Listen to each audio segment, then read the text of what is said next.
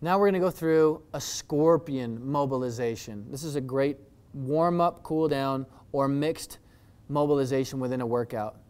Exactly, arms stretched out to the ground, out to the side rather, grabbing the ground firmly with those hands, and rotating a leg over bent knee as high as you can towards the hand, but never forcing range of motion.